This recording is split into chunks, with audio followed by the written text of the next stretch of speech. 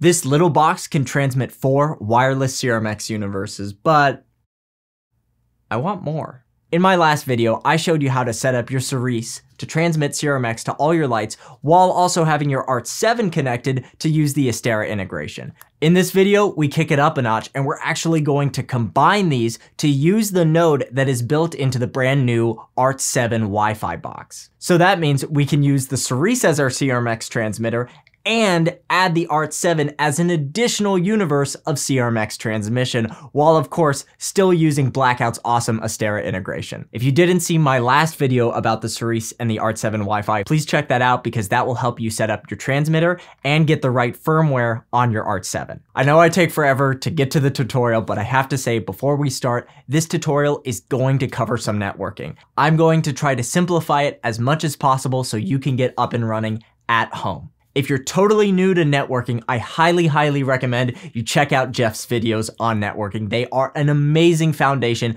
that's gonna make understanding what we're doing a lot easier. I also wanna say I'm using the Cerise 4U Pro in this video, but this will work on any transmitter that can connect to an existing network. So that's all the Cerises, your RatPac AKS with the ethernet port, your satellite with its ethernet port, your Stardust with its ethernet port. The process is the same for any of those transmitters. You'll just have to take the same steps using the configuration panels for those devices. You also probably noticed I kept saying ethernet ports, and while there are some transmitters that can connect to existing networks via Wi-Fi, because the ART7 has to connect via Wi-Fi, I want to have as much of this hardlined as possible. So that's why I recommend connecting your other transmitters with ethernet. You also might be wondering, connect to what? What do we connect to? Well, while there are different ways to do this, the best way I have found and the way I personally use is using this little router. This little GL-iNet router is seriously amazing. We have a link in the description below to buy one. If you have a router that has a 2.5 gigahertz band,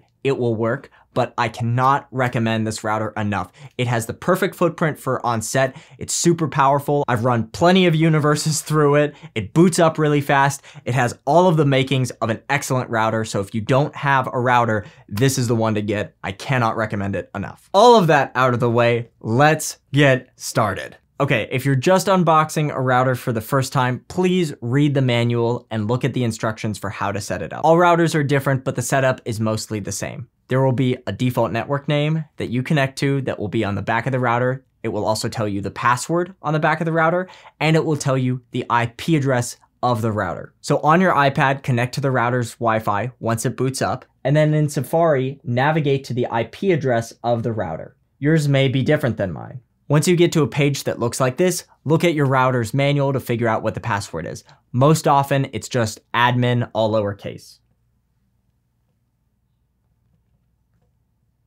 The first thing I'd like to do is change the WAN port to a LAN port, so I'll click this and apply. Now you can use all three ethernet ports on the back of the router the same way. You don't have to worry about plugging into a specific one, they will all work the same. Once that's done, go to network and go to LAN. Here you'll set the router's IP address. Here's the little bit of networking. This is the part where we need to put our router in range of our ART7 box and our Cerise. If you remember in the last video, I used the 192.168.0 dot whatever scheme.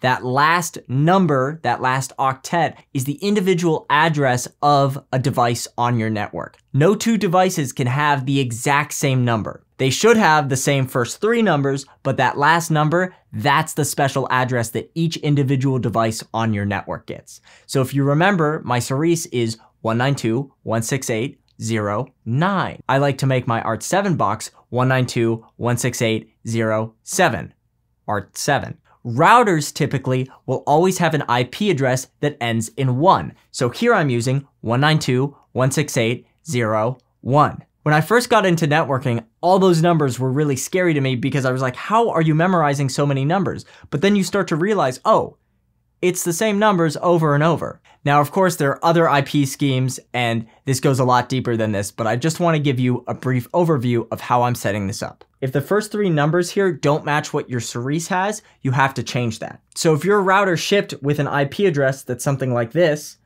you should change it so it's in range of your Cerise. My Cerise's IP address was 192.168.0.9. So I'm changing my router to be 192.168.0.1.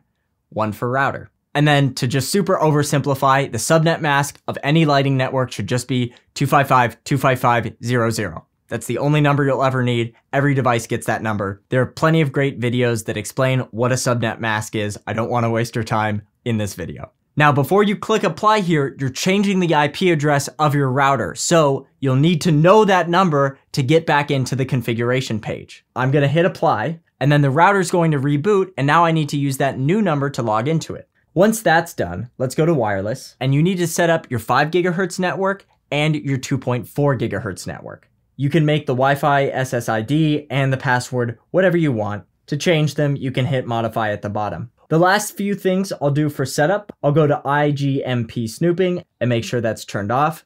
Again, if you know what you're doing and you're using a managed network, you do you. This is not that video. And that's pretty much it. The last thing I'll say in this menu is if you go to clients, this is where you can see anything that's actively connected to your network. Okay, that's a brief overview of how to set up a router. Again, if you need help with any of this, please reach out in the comments or our help center. Now let's go to the Astera app. I'll click this arrow to go into the menu for my ART7 box, and I'll go to Wi-Fi settings. Here, I'll want to make sure that I turn access point off and join network on. Then I'll come down to set the network SSID, and you should see a list of networks pop up. I see my network right here, but if you can't find it, you can click other, yes, and then manually type in the SSID and password. You need to make sure that you get these exactly right. They are case sensitive, and that will allow your ART7 to connect. The ART7 has a pretty weak antenna, so make sure that ART7 is very close to your router. And also for this initial connection, I really recommend turning off any CRMX receivers and avoiding any spaces with a lot of 2.4 gigahertz interference. Sometimes you'll have to power down the ART7, wait a minute, then retry, but once you get the connection initially, you'll never have to do it again and they should find each other super easily. You can see right here, it says I'm connected and here I can set a static custom IP. If your app says DHCP here, just tap it, tap the drop down and switch it to static custom IP. I really recommend doing this and then writing a label and putting it on your ART7 so you don't have to worry about it changing every time it connects to your router if you're using DHCP. Here, you can see I set the IP address of the ART7. The subnet mask, always the same, 255.255.0.0. And then the gateway should be the IP address of your router. Okay, before we get everything connected, the last step is we need to put our Cerise on the network. If you have a Cerise 1, you'll need a USB-C to Ethernet adapter so you can plug an Ethernet cable between your Cerise into your router, but all the Pro units have Ethernet ports. So using an Ethernet cable, I'm gonna plug the Ethernet port of the Cerise into the Ethernet port of the router and then give power to the Cerise. The first thing I'm going to do is go into my Wi-Fi and connect to the 5G network on my router. I find I found the best results with this router when I connect to the 5 GHz network and just the Astera box is on the 2.4 GHz now here I am in blackout and you can see up at the top it says in link status I'm connected to the Wi-Fi network from my router. So this is whatever SSID you set your router to. I'll come up to link status, I'll go to connect to Astera, and I'll add a new connection. Here I'll use connect via existing network. I'll give it the pairing pin and that's what's on the sticker on the back of your ART7 Wi-Fi box. And then I'll give it that IP address that we set in the Astera app. So for me that was 192 dot 168.0.7. I'll hit connect. Here, I'll set the radio pin and connect. You can see it connects instantly. Now let's test this out. Okay, forgive the silly testing contraption, but here I have a Luna bulb and we'll put that on Universe 1 and we'll have the Cerise give it Universe 1. And then we have our trusty Helios tube and we will put that on Universe 2 and we'll have the ART7 give it Universe 2. So I'm going to the Ethernet IP address of the Cerise real quick, and I'm changing the A antenna to be SACN Universe 1. Back in blackout, I will patch a Luna bulb, and we'll do mode 137, and we'll put that in Universe 1. We'll make that 101. And then we'll add our Helios, and we'll put that in a crazy mode, and we'll move it to Universe 2. We'll change that to 201. Both these fixtures are already on my radio pin, so I should be able to address them easily. Before I do, I'll go into link status, I'll go to the settings of my Astera box and I'll go to the node settings. Here is where I can change it from a transmitter to a receiver and I can set the universe number. So I'll change this one to a two and hit OK. I'll make sure it's on transmit, save. I'll send the data to the Helios tube.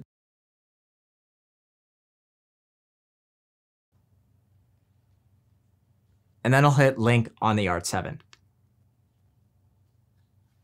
Next, I'll use the Astera view state to select my Luna bulb. I'll use assign to patch and give it my Luna bulb patch. You can see it instantly changes. I'll unlink CRMX and I'll press link on my Cerise.